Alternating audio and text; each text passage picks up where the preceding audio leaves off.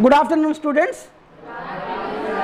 Today in this class, we are going to discuss about formation of rainbow. Rainbow form అవ్వాలి అంటే రిఫ్ reflection జరగాలి refraction జరగాలి డిస్పర్షను జరగాలి ఈ త్రీ ప్రాసెసెస్ కంబైన్డ్గా జరిగితేనే రెయిన్బో ఫామ్ అవుతుంది కాబట్టి rainbow is the combined effect of refraction reflection and dispersion ఇక్కడ రిఫ్లెక్షన్ అంటేనే total internal reflection okay so రిఫ్ర rainbow is the combined effect of refraction reflection and dispersion of light that is first condition another condition to form the rainbow one part of the sky is raining and another part is sunshine ఒక పక్కేమో rain వస్తూ ఉండాలి ఇంకొక పక్కేమో sun ఉండాలి. అలా రెండు కంబైన్డ్గా ఉన్నప్పుడే రెయిన్బో ఫామ్ అవుతుంది. And one more important condition rainbow always appears opposite to the sun ఒక పక్క సన్ ఉంటే ఆపోజిట్ డైరెక్షన్లోనే రెయిన్బో ఫామ్ అవుతుంది. ఒకవేళ సన్ ఇటు పక్క ఉంటే ఆపోజిట్ డైరెక్షన్లోనే రెయిన్బో ఫామ్ అవుతుంది. So these are primary conditions for the formation of rainbow so ఇప్పుడు రెయిన్బో ఎలా ఫామ్ అవుతుందో డిస్కస్ చేద్దాం. సో రెయిన్బో ఫామ్ అవ్వాలి అంటే ఒక పక్కేమో రెయిన్ వస్తూ ఉండాలి ఇంకొక పక్కేమో సన్ ఉండాలి. అంటే స్కైలో అంతా వాటర్ డ్రాప్స్ బాగుంటాయి కదా. నేను ఒక వాటర్ డ్రాప్ తీసుకుంటున్నాను ఇక్కడ. అంటే ఇంత పెద్దదిగా ఏముండదు ఉండదు. మనకు అర్థం అవడం కోసం నేను అలా డ్రా చేశాను. నేను ఒక వాటర్ డ్రాప్ తీసుకున్నాను. ఈ వాటర్ డ్రాప్ మీద ఎలాగో సన్ ఉంటుంది. ఆ సన్ నుంచి వచ్చేటటువంటి లైట్ వాటర్ డ్రాప్ మీద ఇలా పడుతుంది. ఇది సన్లైట్ వాటర్ డ్రాప్ మీద పడింది.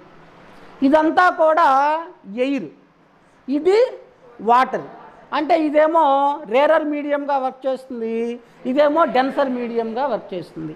అంటే లైట్ రేరర్ మీడియం నుంచి డెన్సర్ మీడియంలోకి వెళ్తుంది. అంటే రిఫ్రాక్షన్ జరుగుతుంది. రిఫ్రాక్షన్ జరిగిన వెంటనే డిస్పర్షన్ కూడా జరిగి ఈ లైట్ సెవెన్ కలర్స్గా స్ప్లిట్ అయిపోతుంది. దాంట్లో రెడ్ కలర్కి యాక్చువల్గా ఎలా వెళ్ళిపోవాలి?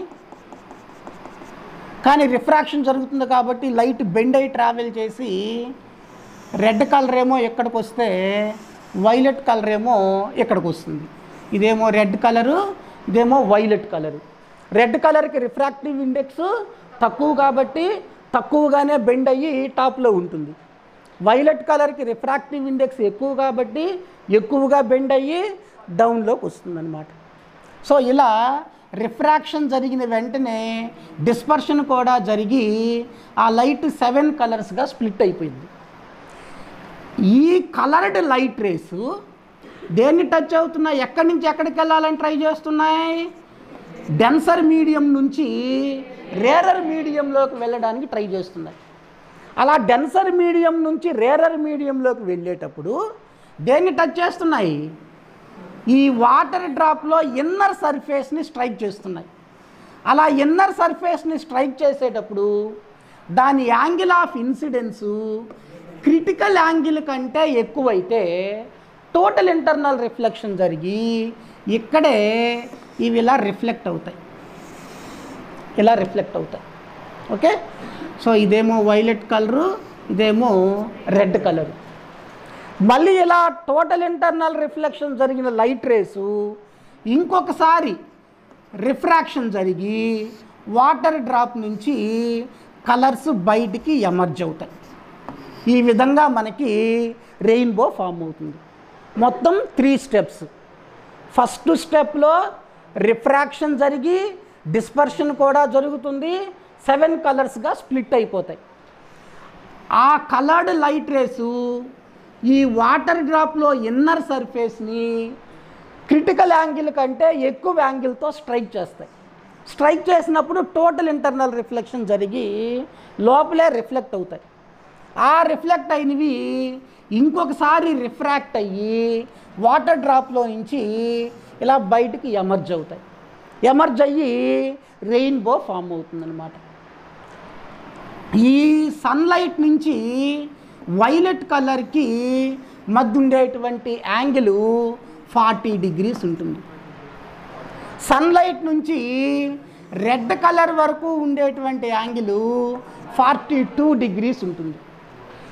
ఈ మిగిలిన కలర్స్ అన్నీ ఎంత యాంగిల్లో ఫామ్ అవుతాయి?